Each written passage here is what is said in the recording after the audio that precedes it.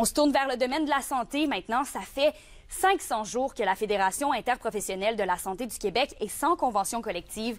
Et Andréi, sa, sa présidente, oui, dénonce une impasse avec le gouvernement Legault.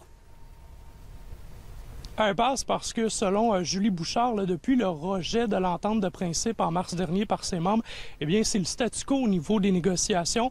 En conférence de presse plus tôt cet avant-midi à Montréal, la FIC a exhorté le gouvernement de la coalition Avenir Québec d'en venir rapidement à une entente avec les 80 000 professionnels en soins de la province, dont 1600 qui travaillent dans l'un ou l'autre des établissements ici dans la région. Le syndicat est d'avis que l'impasse met une fois de plus en péril les services et soins à la population parce que les professionnels sont en surcharge de travail, sont épuisés. La présidente parle donc réellement d'un point critique. On l'écoute. Il y a eu des négociations pendant l'été. Maintenant, force est de constater que chaque partie est campée sur sa position. Nous, en mars dernier, c'est à très forte majorité que les professionnels en soins nous ont dit non. Et surtout, on dit non au gouvernement avec le rejet de l'entente de principe. Donc, inévitablement, on ne peut pas arriver avec pratiquement la même chose que ce qui a été présenté. Donc, il faut absolument y aller vers une ouverture et quelque chose de beaucoup plus intéressant et suffisant pour les professionnels en soins. Mais André, quels sont les principaux points qui achoppent toujours avec le gouvernement? C'est vraiment au niveau de la mobilité et de l'attractivité euh, de la main-d'œuvre qu'Emilia, et c'est euh, d'autant plus vrai là, pour la région, euh, selon le président de la FIC régionale, Jean-Sébastien Blais.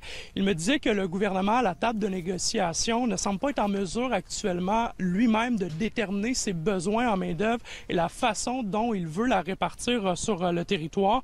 La FIC SAT qui déplore aussi qu'il n'y ait pas de mesures structurantes actuellement à la table de négociation et qui pourraient permettre aux professionnels de vouloir euh, rester en région ou même de s'y installer pour euh, travailler à long terme.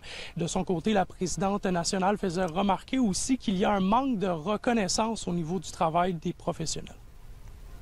Nous, on sait en Abitibi-Témiscamingue le nombre de professionnels en soins qu'on a besoin, dans quel service qu'on en a besoin, mais on a l'impression que ce besoin de flexibilité-là est davantage dans les grands centres où certains établissements ont davantage de souffrance que d'autres. Donc, ce qu'on a besoin, c'est des forfaits d'installation, c'est des primes euh, euh, au niveau salarial pour ces gens-là qui vont s'installer justement dans les MRC les plus problématiques. Il faut arrêter de penser que ce soit une infirmière, infirmière auxiliaire, inhalothérapeute ou encore perfusionniste clinique, que notre travail au quotidien est seulement de donner des pilules, de faire des brises de sang, prendre des signes vitaux, mais donc de donner des pompes. Notre travail est beaucoup plus important que ça et notre tâche est beaucoup plus pointue. Ça nous prend un encadrement qui va venir respecter l'expertise des professionnels en soins.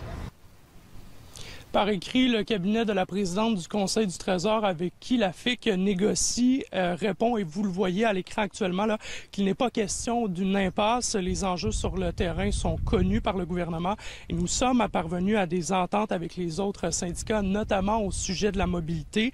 Le gouvernement qui, euh, qui tend donc la main à la FIC afin de poursuivre les, les euh, discussions et de négocier. Il est possible de s'entendre. De son côté, la FIC n'exclut pas, en fait, elle promet des euh, mesures euh, nécessaires pour euh, justement accentuer la pression au cours des prochaines semaines. Mais pour l'instant, le spectre d'une grève générale illimitée n'est pas envisagé. Merci, André.